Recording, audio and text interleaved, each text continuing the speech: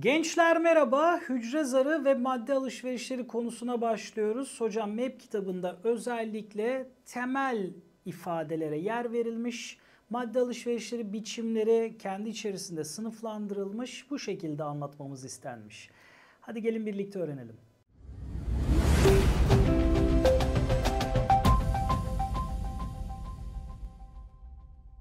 Şimdi madde alışverişlerine başlarken tabii ki akıcı mozaik zar modelinden bahsetmeden olmaz. Mozaik zar modeli ama ifade ne? Akıcı. Yani sürekli hareket eden aslında dinamik bir yapıdan bahsediyoruz. Bu yapı temelde fosfolipitlerden oluşmuştur. Temelde fosfolipitlerden oluşur. Tabi bu fosfolipitler içerisinde fosfolipit içerisinde dağınık hareketli, yer yer zarı kat eden, bazen zarın dışında, bazen içinde bulunan proteinler ve protein ve lipidlere bağlı hücrenin dışına bakan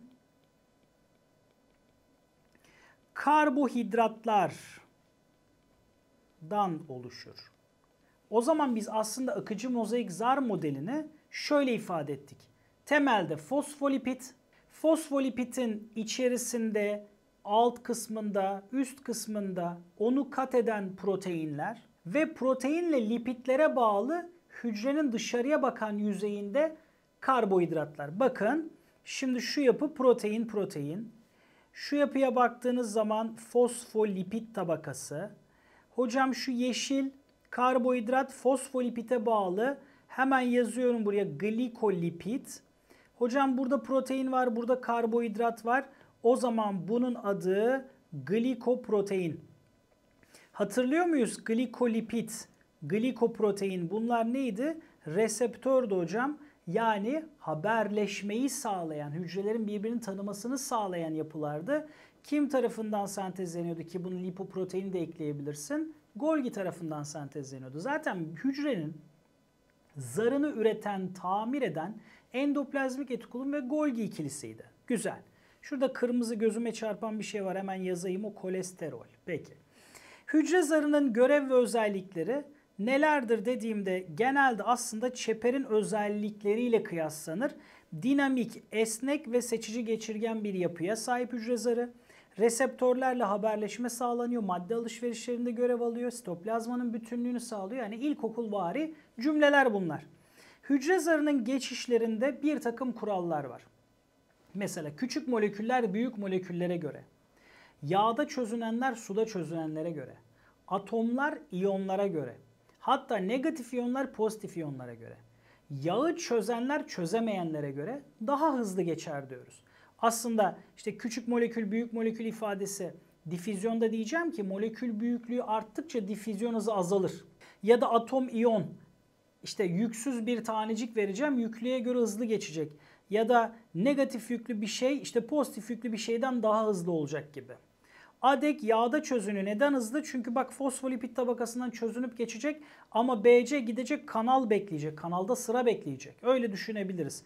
Alkol, eter zaten eritip geçiyor hocam. Bunlar yağı çözen maddeler. Peki güzel. Çeperle kıyaslayalım. Sert, hareketsiz, tam geçirgen bir yapıya sahip ve aslında bulunduğu yapı, daha doğrusu bulunduğu canlı bir şekilde kendi yapısıyla da ilişkili. Ne demek istiyorum? Mesela ben size bir canlının çeper yapısından bahsettiğimde onun alemine kadar tahmin edebileceksiniz.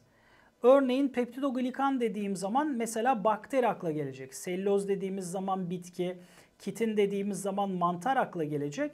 Pseudopeptidoglikan arke. Bu pseudopeptidoglikan şu anda sallantıda özellikle mikrobiyoloji kitabının işte kutsal kitabı dediğimiz Brock mikrobiyolojide bir takım değişikliklere gidilmiş ama o bize daha gelene kadar 10 fırın ekmek yemesi lazım. Şimdi hangi yapıya bakılarak canlının alemi tahmin edilebilir sorusunun cevabı o zaman gayet rahat bir şekilde çeper olur mu? Olabilir hocam. Canlı çeper içermiyorsa yani bu hayvan da olabilir. Bazı protist de olabilir ama buradan en azından sonuca gidebilirsiniz. Peki. Hücre zarından farklılaşan yapılar var. Sil, kamçı, yalancı ayak, işte mikrovirüs, besin kofulu gibi. Burada da mesela bir paramesyumu düşündüğünüz zaman işte şöyle silleriyle hareket edecek. Ama belki de bir akciğer hücresindeki siller havayı temizleyecek. Kamçıya baktığımızda bir öglena kamçısının yönünde ve doğrultusunda hareket edecek ya da bir spermi düşünelim kamçısına zıt yönde hareket edecek hareketle ilgili bir oluşum. Yalancı ayaklara baktığımızda bir amipi düşündüm yalancı ayakla hareket edebilir ya da hocam belki de bir akü vardır ve bu akü var yalancı ayaklarla belki de fagostoz yapacak ve bir mikrobu alacak yani bir savunma yapmış olacak. Mikrovirüs dediğim şey ince bağırsakların iç yüzeyinde özellikle yüzey alanını arttıran ve emilimi arttıran, birim zamanda yapılacak emilimi arttıran virüsler ve mikrovirüsler.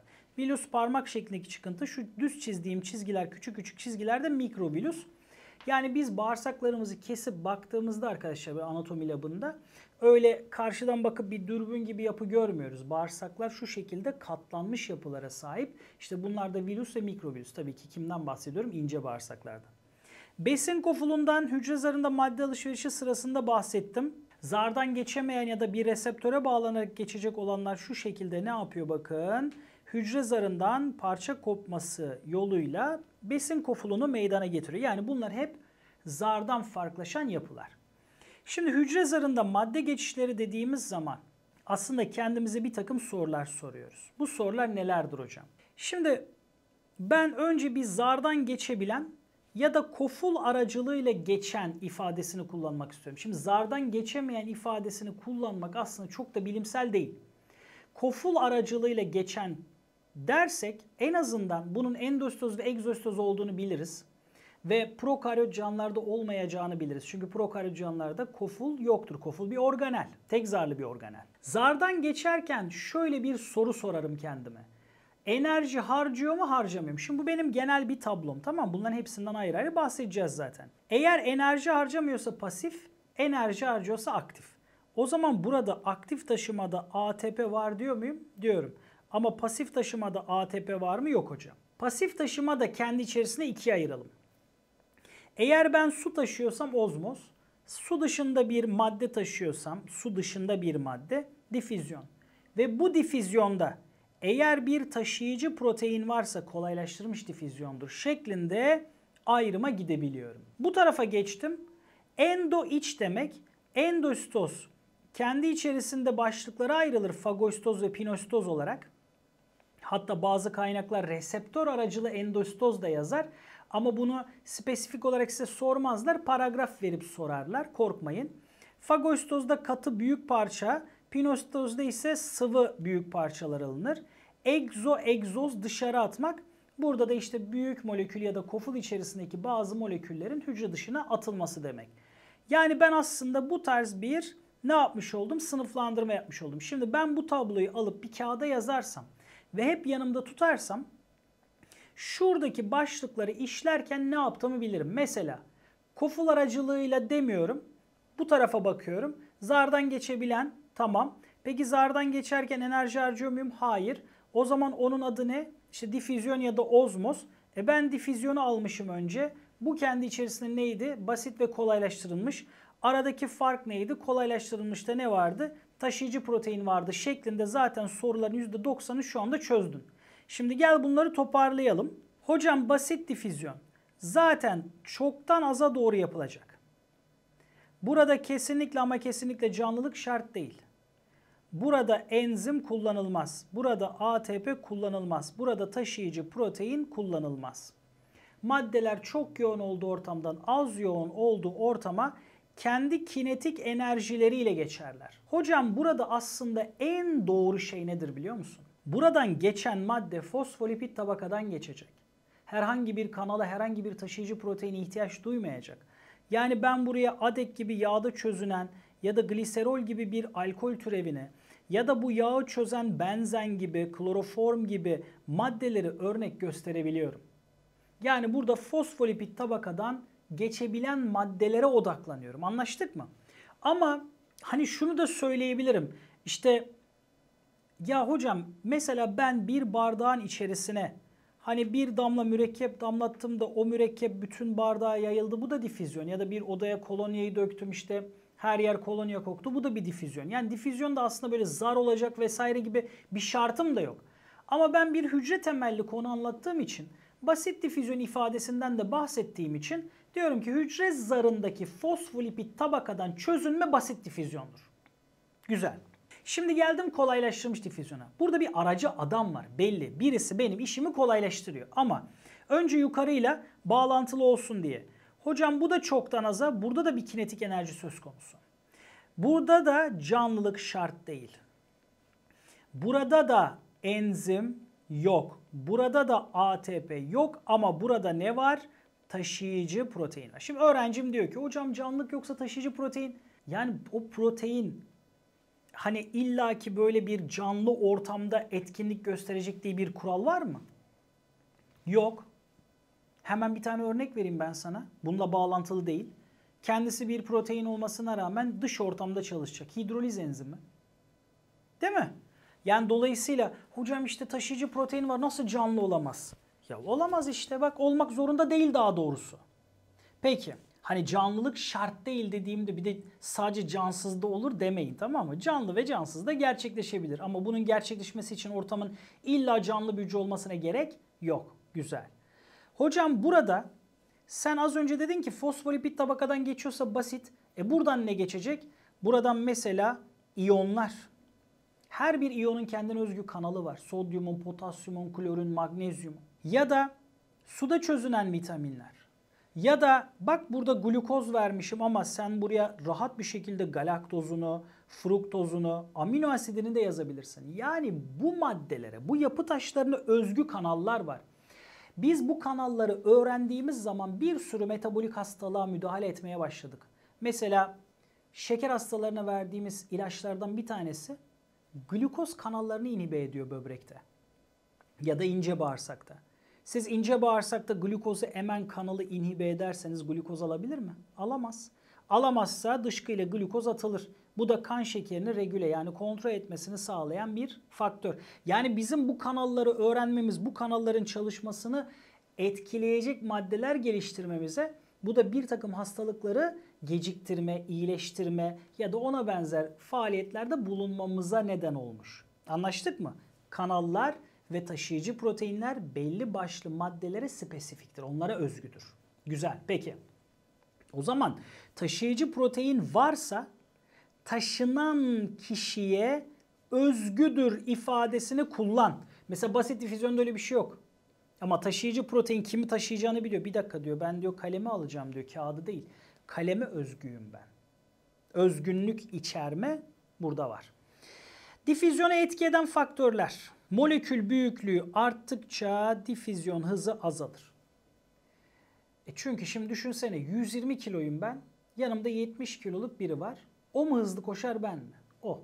Hani molekül büyüklüğü arttıkça difüzyon hızım azalacak. Sıcaklık arttıkça kinetik enerji ne olur? Artar hocam. Kinetik enerjinin artması her iki tarafta da kinetik enerjiye bağlı bir olay vardı. Tamam. O zaman kinetik enerji arttığı için difüzyon artar diyebilir miyim? Bekle. Şunu diyebilirsin. Basit difüzyon hızı artar. Kolaylaştırılmış difüzyon bir yere kadar artar. Nasıl yani? Çünkü kolaylaştırılmış difüzyonda ne var? Taşıyıcı protein var ve taşıyıcı protein yüksek sıcaklıktan etkilenir. Belli bir yere kadar arttırabilirsin ama sürekli arttırmak sürekli hızı arttırmaz. O kim için geçerli?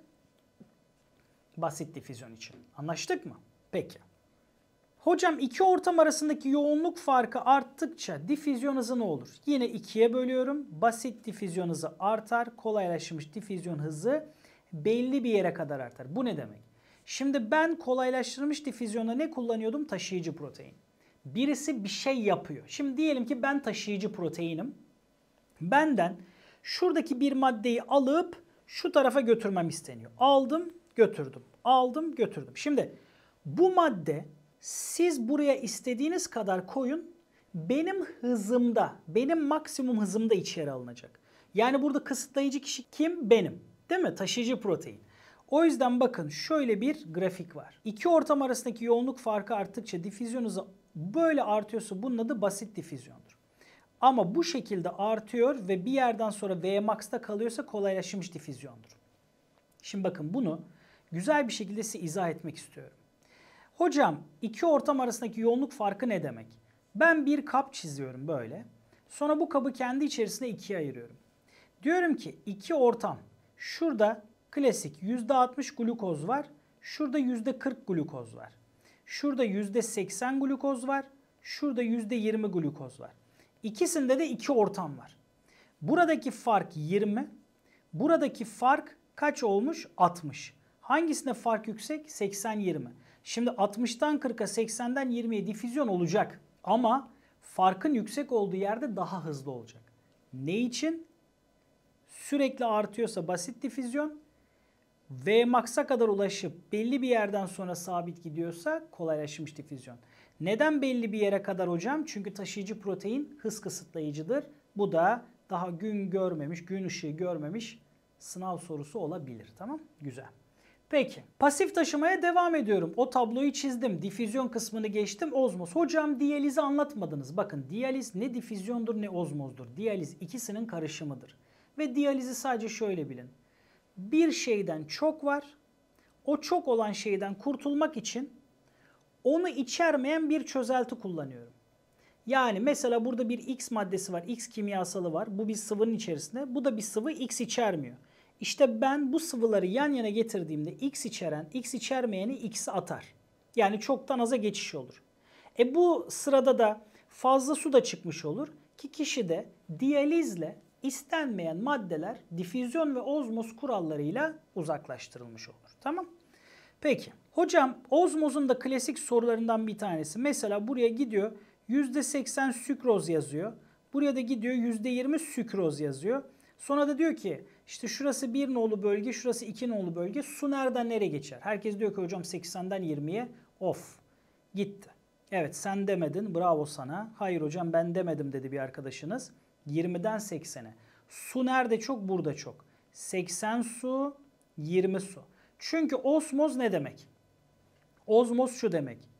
Suyun çok olduğu yerden suyun az olduğu yere suyun geçişidir.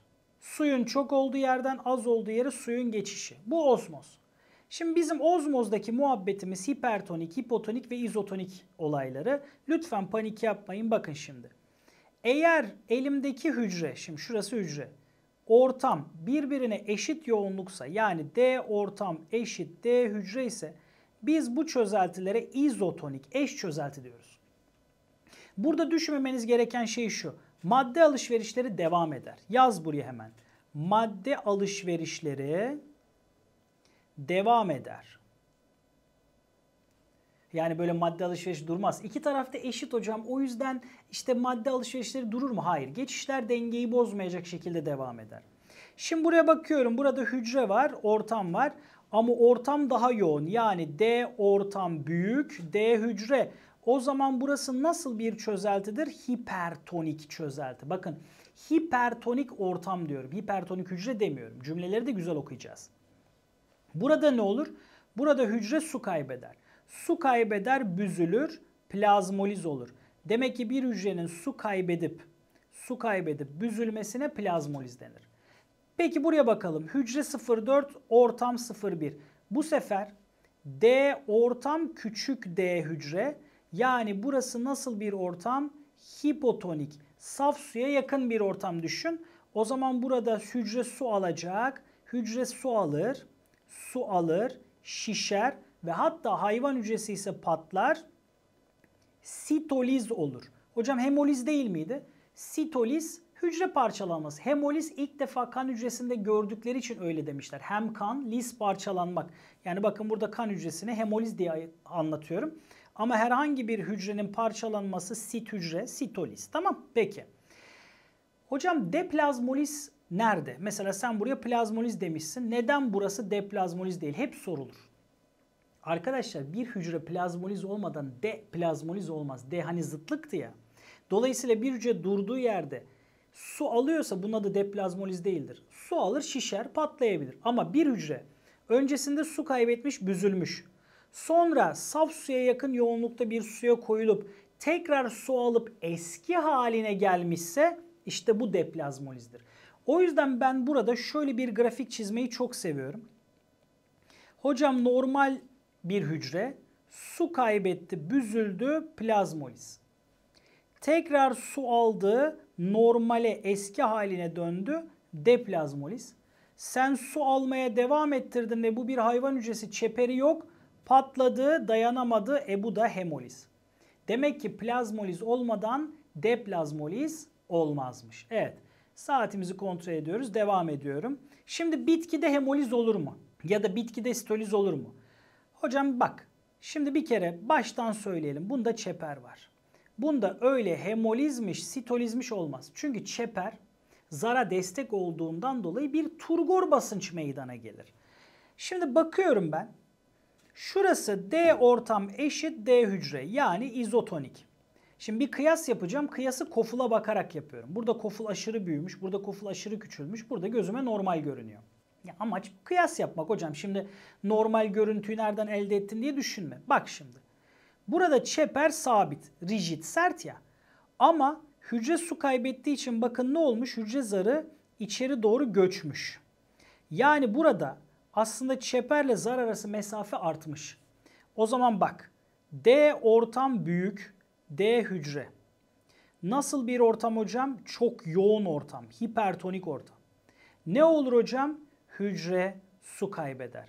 E kaybetsin, büzüldü. Plazmoliz oldu. Plazmoliz olunca koful da tabii su kaybettiği için ne olacak? Küçülecek. Merkeze yaklaşıyor her şey. Organel merkeze yaklaşır. Organeller merkeze yaklaşır. Tamam? Ne yaptık en son? İlk o cümleyi kurduğumuz hemen şuradan böyle toparlayalım. Zar çeper arası mesafe artar. Çünkü çeper sabit, içeride zar büzülüyor. Geldim bu tarafa. Bakıyorum su girmiş içeri. Demek ki burada D ortam küçük D hücre. Saf suya koydum ben bunu. Nasıl bir ortam? Hipotonik ortam. Yani bol sulu. Hocam o zaman hücre su alır. Hücre su alır. Şişer. Patlar mı? Patlamaz. Ne oluşur? Turgor basınç oluşur. Ben size bitkilerde otsu bitkilerin dik durması, stomaların açılıp kapanması gibi şeyler öğreteceğim. Orada göreceksiniz. Patlamadı, turgor oluştu. Organeller çevreye dağıldı.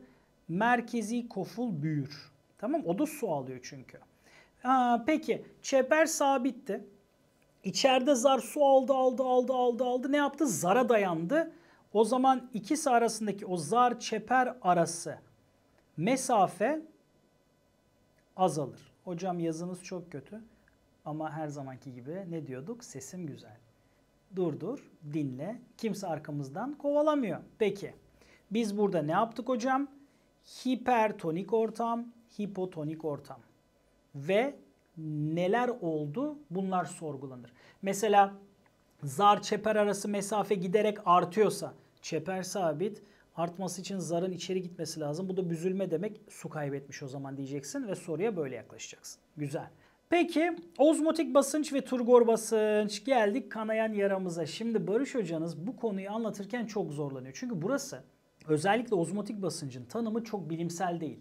Şimdi ozmotik basınç hani ben gidiyorum su alma isteğidir diyorum ya. Şimdi arkadaşlar bakın böyle bir cümle aslında bilimsel değil. Ben bunu size defalarca söyledim. Ancak bir şeyin yani bir soruyu çözebilmek için benim bunu bu şekilde ifade etmem lazım. Normalde o ifadede yani mesela ozmotik basınçta şöyle bir şey vardır. Kaybolan su var. Bu su kaybolmasın diye bir şekilde suyun çepere, zara yaptığı basınç söz konusu. Yani bir ters basınç söz konusu oluyor. Ama tekrar söylüyorum. Benim amacım burada işte biyologlar, moleküler biyologlar, hekimler yaratmak değil ki. Burada biyoloji sorularını fullemenizi sağlamak. O yüzden ozmotik basınç ne zaman artar? Bir hücre su kaybettiğinde ya da içindeki çözülmüş madde miktarı arttığında artar. Yani ozmotik basınç çözünenle çözünenle doğru orantılı, çözenle ters orantılıdır. Yani su arttığında ozmotik basınç azalıyor. Ama çözünen madde miktarı mesela şeker arttığında ozmotik basınç artıyor. Susuyorsun sen. Susama hissi oluşuyor. Dolayısıyla ben ısrarla ve ısrarla hani bilimsel olmasa da şunu söylüyorum. Ozmotik basınç su alma isteği. Hocam bilimsel mi? Değil bak. Ama soru çözdür. O yüzden lütfen öğretmenlerinizi üzecek cümleler kurmayın. Çünkü ben bunu bu da geldi bana. İşte hocam ama işte Barış Hoca böyle dedi. Ya Barış Hoca böyle desin abi. Barış Hoca'nın temel amacı burada sana 19'da 19 yaptırmak. Çok mu öğrenmek istiyorsun? Gel tıbbi biyoloji abi. Gel biyokimyaya. Bunların hepsini, bu arada bu biyokimya da değil, bu fizikokimya. Bunun dersini ben Ege Üniversitesi'nde almıştım. Hatta abartıyorum şöyle bir dersimiz vardı. Biyofizikokimya. Allah Allah. Yani hani orada formüller ispatlama vesaire vesaire dehşet şeyler var. Neyse turgor basınç. Hadi bu da suyun yaptığı basınç diyelim. Suyun zara ve çepere içeriden yaptığı basınç diyelim. Bak burada ne çıkıyor? Şimdi bir kere ozmotik basınçla turgor basıncının burada birbirine zıttı olduğu çıkıyor. Dolayısıyla ben ozmotik basınç ve turgor basıncı birbiriyle kıyasladığım zaman su artınca turgor basınç artıyor. Tamam. Ozmotik basınç azalıyor. Güzel. Buradan şöyle bir şey mi çıkıyor?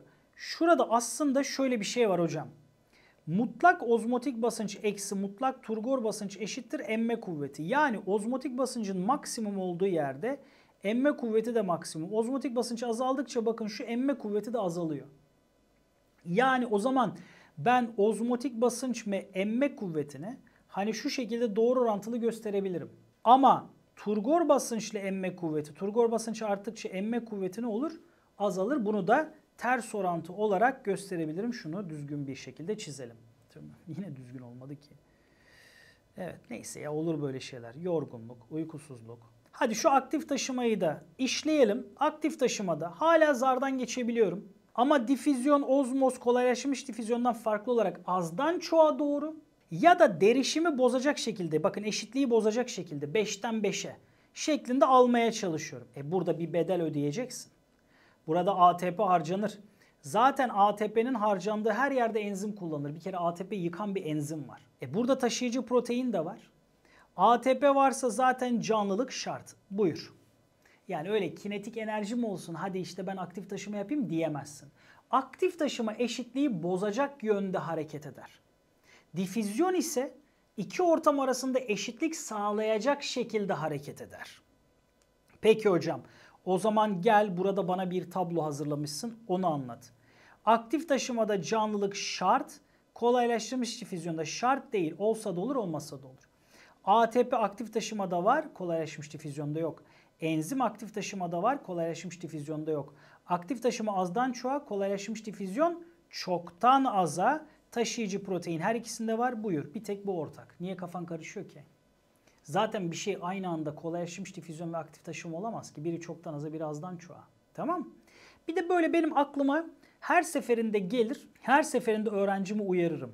Eğer size bir hücre zarı çiziyorsa, şöyle bir yere ATP parçalıyorsa, ATP'yi ADP'ye dönüştürüyorsa, bu sırada da bir X molekülünü şu şekilde çiziyorsa, bu X molekülü hücre içine alınmış mıdır, hücreden atılmış mıdır şeklinde soru soruyorsa kopyanız ATP'nin yeridir. Neydi çünkü metabolizma ve ATP konusunda? ATP hücrenin içinde bir moleküldür. Hücre dışına vermiyorum ki ben. O zaman demek ki bu X molekülü hücrenin içine alınmıştır diyeceksin. Tamam. Hadi bak çok az bir şey kaldı. Koful içinde taşınma, endositoz ve egzositoz bunu da anlatalım. Checkpoint ile tek videoda burayı bitirelim. Şimdi benim olayım şu. Önce ortak özellikler. Endo ve egzositozda önce ortak özellikler. Nedir hocam ortak özellikler? Şöyle ekranı büyüttük bak. Şimdi bir kere her ikisi de yoğunluk farkına bağlı değil. Yoğunluk farkına bağlı değil. Her ikisinde de ATP harcanır. ATP harcandığı için enzim kullanılır. Her ikisinin de hücre zarında değişiklikler olur. Birinde artar birinde azalır diyeceğim ama sonuçta bir değişiklik oldu. İkisinde de taşıyıcı protein diye bir şey yok. Ya komple alıyorsun ya komple atıyorsun. İkisi de prokaryot canlıda gerçekleşmez. Neden? E çünkü koful var burada. Prokaryot canlıda koful mu var hocam? Yok. O zaman bakteriler, arkeler bunları gerçekleştiremez. Şimdi endo içeri almak, egzo, egzoz dışarı atmak. Endoda eğer aldığın şey katıysa ve bir de yalancı ayak oluşturuyorsan bak katı olacak ve yalancı ayak oluşturuyorsan bu fagostoz. Ama sıvı ve pinostik cep oluşturuyorsan bu da pinositoz olacak. Egzositoza baktığım zaman sen işte Golgi paketlemiş zara doğru göndermiş. Mesela bu paketlenen şey endoplazmik retikulumun üzerinde sentezlenen protein olamaz mı? Olabilir. Ve o da gider zarda ya da zarın dışında çalışır. Bakın ne kadar bağlantılı konular. Peki sen burada ne yaptın? İşte salgı vezikülleri Golgi'de paketledin, zara gönderdin ve salgı proteinleri hücrenin dışına atıldı. Hmm, harika. Burada primer olarak görev yapanlar da işte hücre zarı, Golgi muhabbeti yaptığında Golgi'yi gördün. Bak egzostoza bir tık daha yönelebilirsin. Şimdi gel bu zar uzar ya da yüzey alanı artar azalır muhabbetini yapalım. Ben bir maddeyi alırken içeri doğru şöyle mesela cep oluşturdum ve o cebi üstüne kapattım. Bak hücre zar yüzey alanı ne oldu? Azaldı. Zarın yüzey alanı azalıyorsa bu endostozdur. Ama bir paket var elinde. Bu paketi zarı zara yapışarak atacaksın ve içindekiler dışarı çıkacak. Bak ne oldu hücre zarı? Yüzey alanı arttı. Hücre zarının yüzey alanı arttı diyorsa egzostoz. Azaldı diyorsa endostoz olacak. Anlaştık mı? Peki. O zaman şimdi burayı bitirdiğimize göre güzel bir checkpoint ile konuyu özetleyebiliriz. Şimdi ne yaptık hocam? Aslında hücre zarı, akıcı, moz, akıcı mozaik zar modelinden falan bahsettik ama temelde biz madde alışverişlerine odaklandık. Ve dedim ki size madde koful içerisinde girip çıkabiliyor olabilir. Eğer içeri alınıyorsa endostozdur, dışarı atılıyorsa egzostozdur. Yalancı ayakla beraber katı alınıyorsa fagostoz, sıvı alınıyorsa pinostozdur. Sonra dedim ki koful içinde falan değil. Zardan girdi çıktı vesaire ama orada da kendime şöyle bir soru sordum. Eğer enerji harcıyorsa aktif taşıma, harcamıyorsa pasif taşıma. Pasif taşımaya baktığım zaman aldığım madde su ise ozmos ya da verdiğim ya da suyun dışında bir madde ise difüzyon. Ama bu difüzyondaki kriterim ne? Eğer bana kimse yardım etmiyor, fosfolipid tabakadan geçiyorsam basit. Hayır hocam burada bir taşıyıcı protein var diyorsam kolaylaştırılmış difüzyondu. E güzel şimdi burası zaten benim aslında anlattığım her şeyin özeti. Bak burada difüzyon ve basit difüzyona. İkisi de çoktan aza doğru değil mi? İkisinde de canlılık şart değildi. İkisinde de ATP yok. İkisinde de enzim yoktu. İkisinde de kinetik enerji vardı. E fark ne? Fark taşıyıcı protein dedim ya. Hocam eğer birisi bana geldi fosfolipid tabaka içerisinden ben bu maddeyi aldım attım diyorsa bu basit difüzyondur. Ama eğer hayır hocam ben işte bir kanal yardımıyla bunu aldım bu kolaylaştırılmış difüzyon. Kanal iyonlar su vesaire geçer. Glikoz geçebilirdi ama özellikle işte taşıyıcı protein mantığı vardı. İşte glukoz, galaktoz, fruktoz, amino asitte. Yani bir taşıyıcı protein yapı beni nereye götürdü? Kolaylaşmış difüzyona. Ama fosfolipid tabakadan geçiyorsam bunun adı basit difüzyon. Aslında bu şekilde düşünmenizi istiyorum. Hocam ozmozda suyun geçişi. Suyun çok olduğu yerden suyun az olduğu yere suyun geçişidir. Peki burada hipertonik, hipotonik, izotonik ortamlar mı vardı? Evet. Şöyle hocam tahtamı, kara tahtamı silebilir miyim? Silelim. Şöyle sildim, sildim, sildim, sildim, temizledim. Maksat gözleriniz yorulmasın arkadaşlar. Özellikle siyahı sona saklamamın sebebi bu. Beyaza bak, bak, bak, bak, bak gözleriniz pert oluyor maalesef. Şimdi şöyle hocam turuncuyu aldım. Dedim ki elimde bir hipo, bir izo, bir de hipertonik ortam var. Hipotonik ortamda D ortam küçük D hücre yani saf suya koymuşum ben bunu. Hücre su alıp şişip patlayabilir. Bitki hücresi ise patlamaz çeper var, turgor basınç oluşur. İzotonik ortam her iki ortamın yoğunluğu birbirine eşit sakın düşme madde alışverişi durmaz dengeli bir şekilde devam eder. Hipertonik ortam hücre demiyorum bak hiçbir için hücre ifadesi kullanmadım o yüzden cümleyi iyi oku. Hipertonik hücre derse bu hipotonik ortam demek. Tamam mı? O yüzden ortam mı diyor hücre mi diyor dikkat et. Hipertonik ortam. E hocam bu ortamda benim hücrem su kaybedecek, büzülecek, plazmoliz olacak. Bir hücre plazmoliz olmadan deplazmoliz olamaz. Su kaybeder, büzülür, plazmoliz. Tekrar su alır, eski haline gelir, deplazmoliz olur. Sen deplazmoliz olmuş bir hücreyi hala saf suda ya da kendisinden daha az yoğunlukta bir ortamda tutarsan hala su almaya devam eder. O suyu da atamayacağı için Kontraktil kofulu falan da yok. Bir hayvan hücresi mesela. Ne olacaktır? Patlayacaktır. Sitoliz olacaktır. Hocam hemoliz değil mi? Hemoliz de diyebilirsin ama hemolizin özel bir yere ait olduğunu bil. Hem kan, hemoliz kanla alakalı demek tamam mı? Peki. Ne yaptım hocam? Bir de bitkide su kaybı ile alakalı şöyle bir şey söyledim. Dedim ki eğer su kaybetti plazmoliz olduysa bitkim çeper sabit zar içeri kaçtı. Çeperle zar arası mesafe artar. Yani su kaybetmiş, büzülmüş. Kofulu da küçülür. Organeller merkeze yaklaşır. Ama yok hocam zar öyle bir yapışmış ki çepere, çeper zar arası mesafe azalmış. Demek ki içeri su girdikçe girmiş artık sıkıştırıyor zarı. İşte bu nedir hocam? Burası da saf su ortama yakın işte hipotonik bir ortam dersin ve soruyu çözersin. Anlaştık mı? Peki. Endostoz, egzostozda dikkat etmeni istediğim ne vardı? Aslında zarın yüzey alanına dikkat edecektim.